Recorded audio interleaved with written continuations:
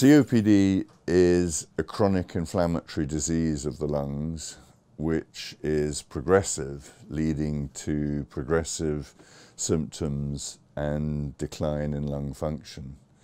And this suggests that we need to develop anti-inflammatory treatments to deal with this underlying inflammatory process. And the most widely used anti-inflammatory treatments for chronic diseases are corticosteroids or steroids.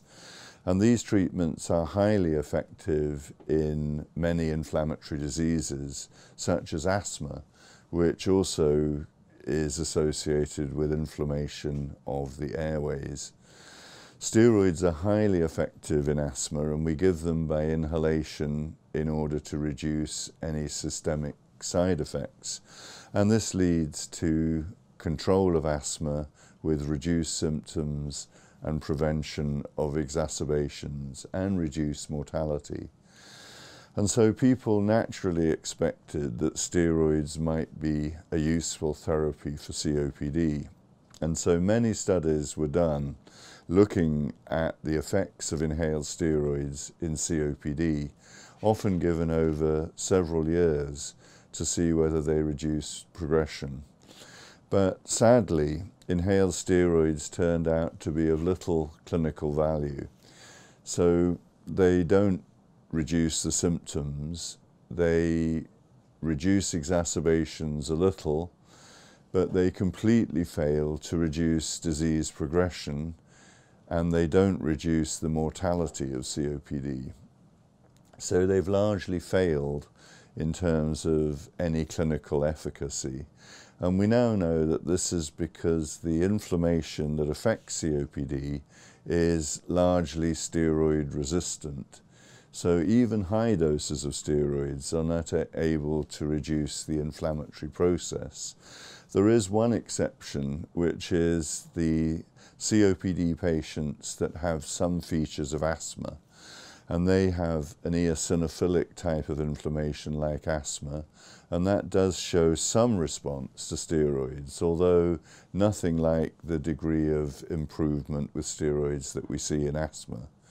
So the majority of COPD is resistant to steroids, and a lot, a lot of our research has focused on trying to understand why the inflammation of asthma is sensitive to steroids, but the inflammation in the same parts of the lung in COPD is resistant to steroids.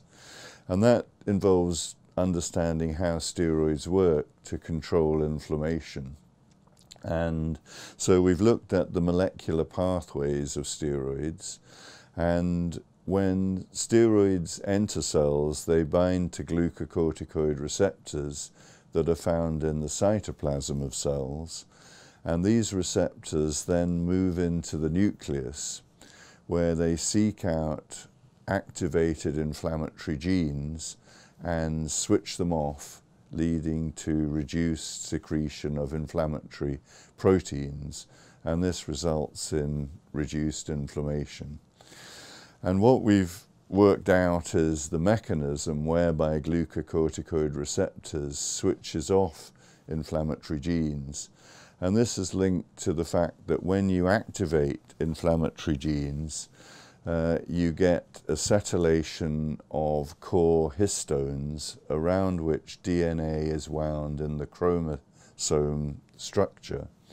And when genes are inactive, the chromatin structure is tightly packed. But when the genes become activated, this opens up the chromatin structure because the basic histone molecules around which DNA is wound become acetylated by histone acetyl transferases. And this means that gene uh, transcription can proceed, leading to the expression of inflammatory genes. And what we found is that steroids work by reversing histone acetylation by the recruitment of an enzyme called histone deacetylase 2. And this, by reversing histone acetylation, causes the open chromatin structure to be compacted again, which therefore switches off transcription of the inflammatory genes. So this is how steroids work in asthma to switch off inflammatory genes. But in COPD, the histone deacetylase 2 or HDAC2 is inactivated and it becomes inactivated by oxidative stress which activates a pathway called PI3 kinase delta and PI3 kinase delta is able to uh, result in the inactivation of the HDAC2 protein, which leads to its reduction. So it means that it's not available for when steroids are trying to switch off inflammation because the protein has been lost. So this is interesting because it tells us why COPD is steroid resistant but I think what's really interesting is the potential for reversing this resistance. Now we understand the molecular pathway that leads to steroid resistance. And what we found is that theophylline, which is a very old treatment that was previously used as a bronchodilator, in very low concentrations is able to increase the histone deacetylase 2 and therefore reverse the steroid resistance that is found in COPD. Now, theophylline is a very cheap drug that's been very widely used. And to achieve this reversal of steroid resistance, you only require very low doses. So previously, high doses of theophylline were needed for bronchodilation and it fell out of favour because this was associated with side effects.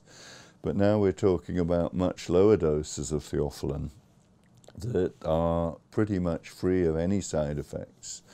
So we think that there's a potential for drugs to reverse steroid resistance and that theophylline could be repurposed in order to do this. But because theophylline is very cheap, it's very difficult to get funding to look at clinical trials that are needed to show that theophylline would be effective. Although two such studies are currently underway, it's been very difficult to get them funded.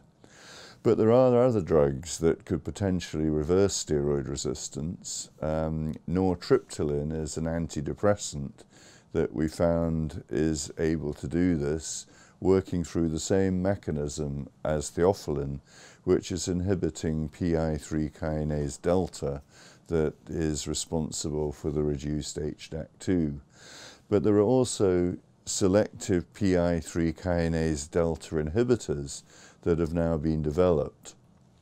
We know that these drugs may have side effects if they're given systemically and in fact have hematological side effects. But inhaled um, drugs that inhibit PI3 kinase delta have now been developed. And so these drugs could potentially be used to reverse steroid resistance in COPD. Incidentally, people with severe asthma also lose the responsiveness to steroids, and that's through the same mechanism.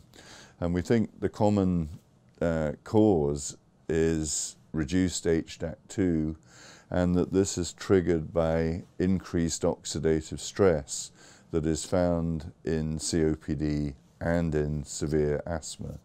So this opens up the possibility for new treatments. The other approach, of course, is to find alternative anti-inflammatory treatments. And many pharmaceutical companies have been looking for new types of anti-inflammatory drug the only anti-inflammatory treatments for COPD that have so far gone into the clinic is a phosphodiesterase 4 inhibitor called roflumilast. And roflumilast is effective in animal models of COPD, for example, but has a rather poor clinical effect because it has a lot of side effects when it's given as a tablet. So this means that the dose is really limited by these side effects. And at the low doses that can be tolerated, the clinical benefit is really quite small.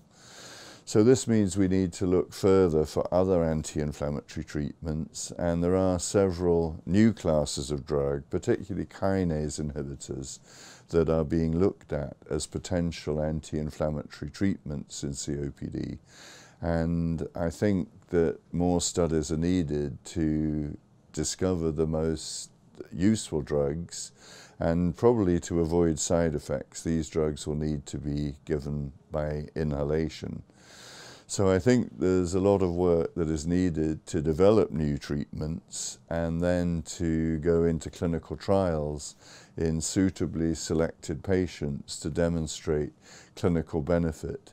But we certainly do need drugs that will reduce the progression of COPD, reduce its major impact and reduce its high mortality.